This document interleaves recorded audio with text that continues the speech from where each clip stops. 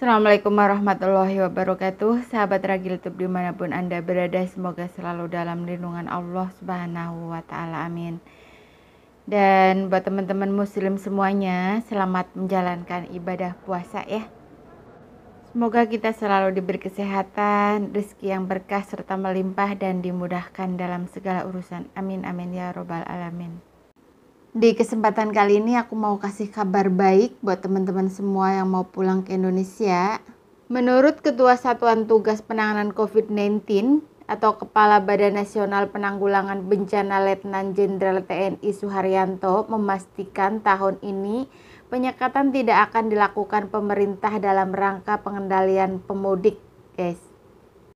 Kendati demikian, Bapak Suharyanto memastikan akan ada random sampling terhadap para pemudik di pos-pos pelayanan untuk mengecek status aplikasi Peduli Lindungi.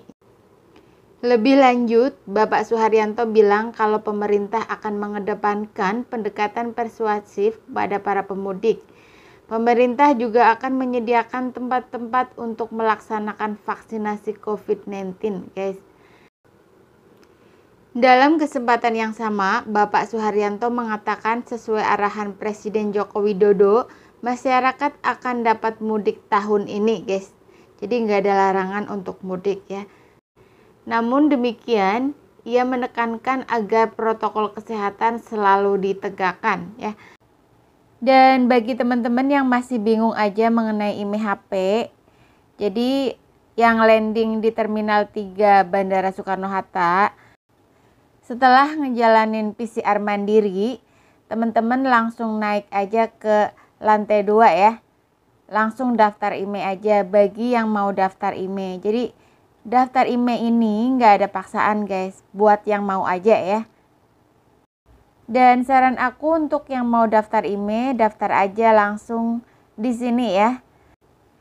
Karena kalau daftar IMEI di kampung halaman walaupun di kantor bea cukainya itu nggak menjamin gratis ya. Kalau di sini itu gratis guys untuk HP yang di bawah 500 US dollars ya. Yaudah segitu aja dulu mudah-mudahan bermanfaat dan apabila ada kata-kata yang kurang berkenan mohon dimaafkan. Wassalamualaikum warahmatullahi wabarakatuh. Salam.